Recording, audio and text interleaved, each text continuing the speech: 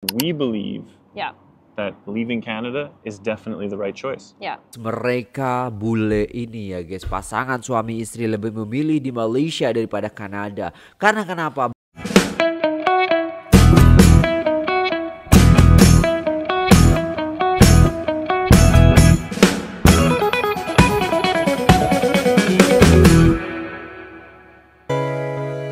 Assalamualaikum warahmatullahi wabarakatuh. Jumpa lagi dengan saya guys Cak Mujib. Gimana kabar teman-teman semua? Semoga sehat selalu dalam lindungan Allah Subhanahu Wa Taala Dijauhkan dari segala mara bahaya Malapetaka bencana dan balak Serta berbagai macam penyakit. Amin amin ya rabbal alamin. Alright guys kali ini kita akan reaksi sebuah video ya guys ya. Ini sangat-sangat menarik sekali. Requestan daripada kawan-kawan sekalian nih guys ya Karena kenapa ya Sepasang suami istri bule ini memilih tinggal di Malaysia dan dia sangat-sangat senang ya tinggal di Malaysia. Apa alasannya mereka akan sebutkan di videonya guys. Jadi tonton sampai selesai. Jadi buat teman-teman semua jangan skip video ini, tonton sampai selesai biar tidak salah informasi. Jom kita tengok videonya guys. Let's go. Assalamualaikum everybody. Welcome back to the channel. To the channel? It's, not- it's our channel. To our channel? Our channel, the channel. Yeah, so I think it's been a while since we sat down and did a video. We've mostly just been like doing vlogs, but I'm sure you guys are really interested as to what's going on with our life. Yeah, so here we are, sitting in beautiful Malaysia, Kuala Lumpur to be Kuala specific. Lumpur.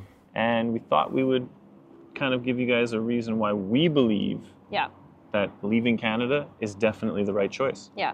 I think the number one thing that we can agree on is the weather. I will never ever disagree with that. Yeah, so the weather has been cuaca ya. incredible. It's the same year round. Um, Sahur iftar time is the same year round. Pretty much, yeah. They're very small variants. I yeah. know in Canada, sometimes you've got like six hours difference between summer and winter with, Yeah. with the sun setting, uh, sun rising, so it So, becomes a little bit more difficult. for sure. Ramadan, Ramadan is really hard in Canada, especially Wow. in the summertime when the hours are really long. Yeah. It's like breezy. It doesn't feel like like super hot. It's just it's perfect. One thing that I love about KL in particular is Okay. that it can be super hot and sunny, Mhm. and then it, the rain will come in and cool everything off, and then it'll get humid. yeah. But it, you know, there's a lot of cloud cover throughout the day because you are in the rainforest essentially. So Mhm. you do get breaks. It's not like like in Yeah, it's Dubai not where it's like heat all the time and Yeah. you, you can't get away from Yeah, it you feel like- going inside. You feel like you're being cooked Yeah. in Dubai. I don't feel like that here. I just feel like it's a consistent. Well- it's kind of like a sauna. I don't know. Well, he did get a sunburn. Let's talk We're about the sunburn. talk about getting cooked. Uh-huh. Yeah, His skin was literally peeling. Yeah. Number SPF. two, number two is the acceptance of all people. Like we've come here and we've noticed how multicultural it is. We had a good idea of that last time Yeah. when we came. Yeah. But yeah, being able to see people of different religions, different cultures, Yeah. all assimilating into the overwhelmingly predominantly Muslim population. Yeah, is not pretty just that, cool. not just that, but everyone speaks English. Like even Yes. even when we've gone to like the village bicara areas, you'll, you might okay. find some people that have a hard time You can speaking get it, by. but you can absolutely Yeah. get by. Everybody speaks English. Every where you go, there's signs in English. Like there's no like language barrier here that we found, and Mhm. it's fantastic. It makes us feel like at home. Unlike when we were in Turkey last week Oke. in Ankara, like Yeah. nobody speaks Mereka English. And not sampai just- merasa itu kayak rumah sendiri ya guys ya karena saking bagusnya di sana itu ya pakai bahasa Inggris juga bisa gitu ya guys ya dan mereka sudah kayak ya ini kayak komunitas mereka sendiri gitu ketika mereka tinggal di Malaysia gitu ya guys ya Just that, but like no signs are in English. No signs are the in English. food, like you pick The up menus. food, the menus, like everything is in Turkish, and there's no like translation to English. Wait, is it still called Turkish or is Okay, it like yeah. Turkish? Turkish? I don't know. I'm not sure. But anyways, that's Let us that's know down two. below. Yeah, I don't know. and then the third one would be the cost of living. Yeah. Uh-huh. Aha. Oh, It's- for sure. It's like astronomically lower than Canada. It's like in Canada, you're always you're always very conscious Aha. about Yeah. what you spend, where you spend, how much you spend. Yeah. Here, obviously, for budgeting purposes, you should still be conscious of where your money is going. Yeah. But I feel like there's not as much stress on it. Oh, it's yeah. like you know that yeah, it's okay to eat out more than it is back at home Yeah. because you have the flexibility. You know it's relatively inexpensive. yeah. Um, depending where you go, you can eat you know, Yeah. super cheap. Yeah, you can eat cheap. So, for instance, to give you an example, um, a, a family meal for all of us is generally over a hundred dollars back Yeah. in Canada, and Oh. that's like not exaggerating. That's like how it much it costs. And Yeah. here, you can get by on like Lebih 20 hemat 30 deh di dollars sana, and like get a lot of food for the whole family to eat. And while we're talking about food, I will say that I am a Tim Hortons addict. So all you Yeah. Canadians out there, you know what I'm talking about. I don't care about Starbucks. It's boycott. Um, but uh, boycott here for sure. Yeah. Stock prices have plummeted here. Anyway, so I was like, for He me, needs a substitute. I need a substitute, in right? Malaysia. if you're an addict, you can't just jump from from you know something to nothing. You got to have that segue. Yeah. And for me, I found Tea Alive, Tea Live. which Okay. has it's like the Malaysian Tim Hortons. but it's no, it's way it's way better. It's it's less like Tim Hortons and more like. Starbucks. Yeah, it's unique. because its focus is on drinks and not and so like much like fancy, sandwiches and fancy drinks. Yeah, like- not like just like she has bare the she bones. has the the Biscoff oh smoothie thing. So Smoothie, good. It's unreal. okay. And It's for me, good. just the the traditional what is it? Just Milk traditional tea. milk tea.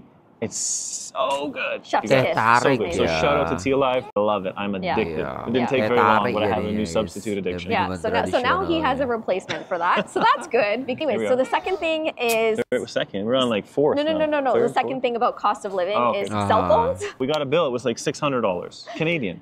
And that was like for like two months. But you- then again, we had some roaming charges and stuff in No, there too. No, there's no, there's no excuse. There's no excuse when you find out what it costs for a cell phone here.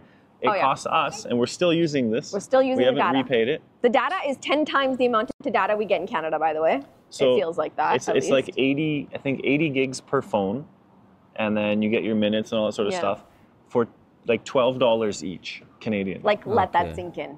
Twelve dollars. Our our Your cell full phone, phone bill, plan for twelve dollars. our actual cell phone bill in Canada for two phones is two hundred bucks. Yeah. Okay. It's about It, it hurts. It like it actually hurts knowing we're still paying our cell phone bill back in Canada, and then the one that we're paying here, and it's just Yeah. you get way more here. Anyways, it hurts. yeah. And then the other thing is housing. Housing is very affordable, substantially. And being a Muslim living in Malaysia versus in Canada is you have a plethora of, of options in terms of buying your own home here that you wouldn't have back there. hmm Yeah. So many, many options. So basically, Okay. like we when we started off talking about this specific category, cost of living, the money that you would save, you can then use for other things like Uh-huh. traveling. Like we're going to Indonesia this weekend. Plan to go to Thailand hopefully before we Oh, head back to Canada. jalan-jalan as well. Purchasing Wow. extra Hey. cups of tea along the way. Oh, you know what I mean? Like you just have the extra money from saving, so that you can You can blow live in a different way. Like co- like like like It's your, almost your like- quality of life is like way better because it's like you're you- saving it's money. It's like just from moving from there to here, your tax bracket just increases, yeah. right? Is you have so much more money, Yeah, alhamdulillah. and it's crazy, especially if you're parents and you've got a family. Like we've Oh, got it's three incredible. kids, and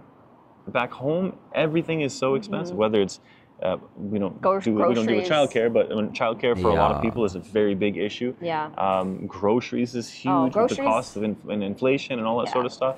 Uh, Housing. extracurricular programs, Housing. Just housing, house the rent bills. Yeah. has gone up Oh, so much that people yeah. can't afford to live in Yeah. Canada anymore. It's it's not cool. so that's why we're saying, guys, you should come here. So yeah, next Should definitely check it category. Next category is very specific to us, but this is what we found: is there there's a really awesome homeschool community Mhm. here.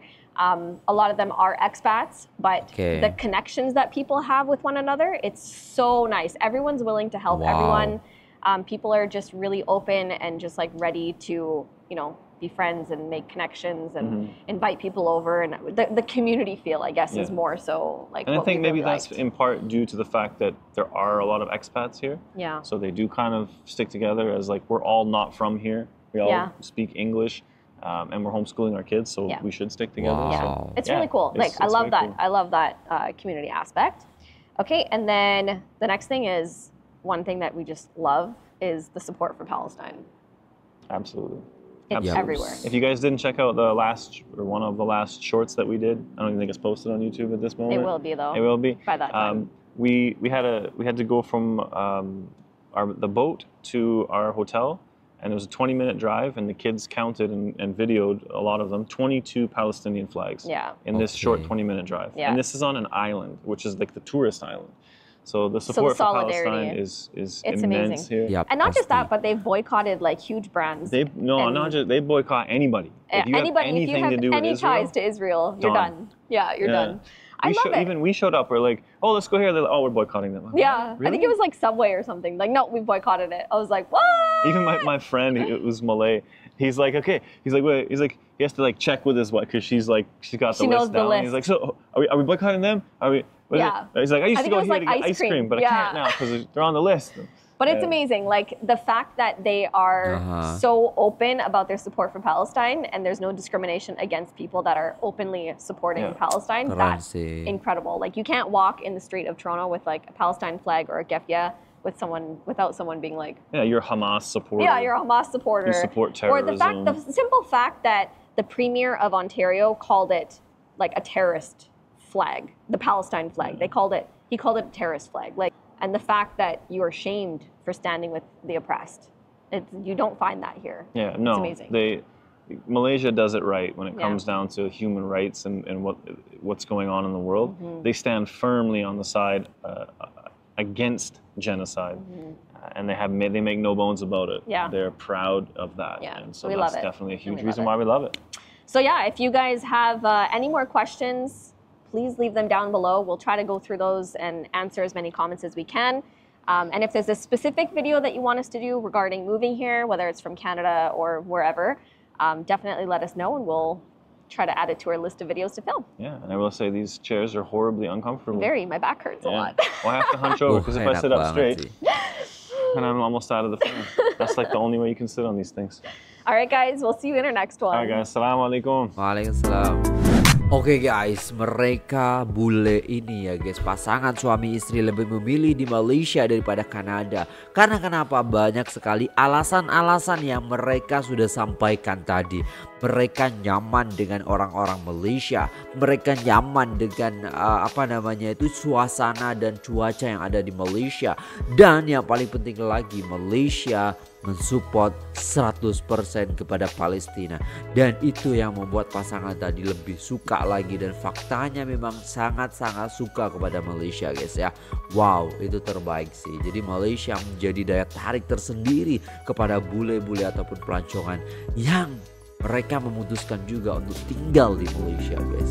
Keren banget. Ya itu dulu videonya guys. Terima kasih udah tengok video ini sampai selesai. Jangan lupa like share dan subscribe. Saya undur